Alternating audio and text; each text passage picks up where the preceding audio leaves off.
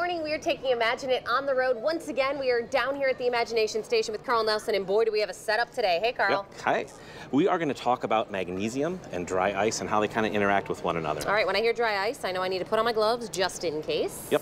And we're actually, the first thing we're going to do is I got a tiny little strip of magnesium metal here Okay. that I'm going to have you ignite. Now, do need to point out that when magnesium burns, it emits UV light. We don't want to look at that. So for you and I, I've got a little safety shield here. People at home will be fine. Okay. Um, and our camera guy is actually looking through a, a lens there, so he'll be okay. So I just want you to see how brightly this burns when you ignite it. Okay, so, if you're not awake yet, you will be. Yep. All right. Go ahead and just hit the end of it Okay. with the torch.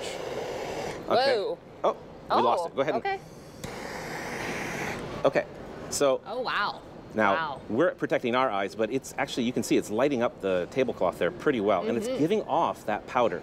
That's magnesium oxide. Yeah, you can smell that. That's it's sort of a familiar smell, maybe because of the segments. I don't know Uh, why. perhaps we, we did something similar to this in the past. Okay. But that's magnesium burning in oxygen. Mm-hmm. We're going to change it up a bit and burn magnesium not in oxygen, but in carbon dioxide. now, Hmm, right. normally, And it you would- burns very quickly.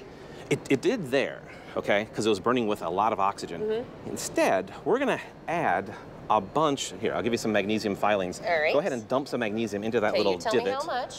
So we got a block of dry, keep going, got a block of dry ice. We're gonna add some magnesium filings in that there. good? Yeah, keep going, a little bit All more, right. a little bit more, uh, a little bit more. Okay, okay, Okay, uh, that's all right, great. okay, okay. So we got quite a bit of magnesium Yeah. inside carbon dioxide. Normally, you would use carbon dioxide in a fire extinguisher to put out a fire. Oh, Because there's no oxygen. Okay. Um, but we have a little coming out of the top, right?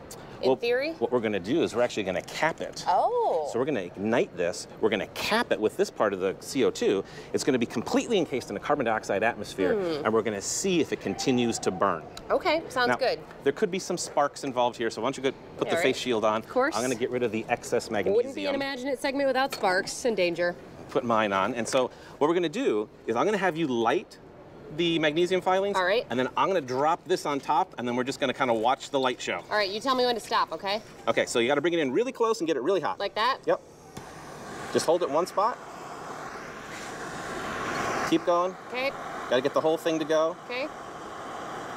And you can pull the torch away.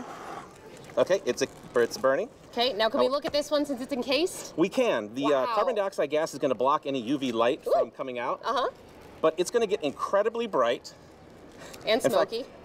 and that's magnesium oxide coming off. And hopefully we don't set off the fire alarm here in the building. Hey, if we do, it'll be a great moment. How about that? But look at how brightly that is burning. That's amazing. Fully encased, too. And so what's happening here is that the magnesium is actually combusting with the carbon dioxide. It's releasing oxygen from the CO2, Uh-huh. reacting, and inside there, the temperature can be reaching over 4,000 degrees Fahrenheit. Wow. But because the dry ice is so cold, that's why it's not immediately melting?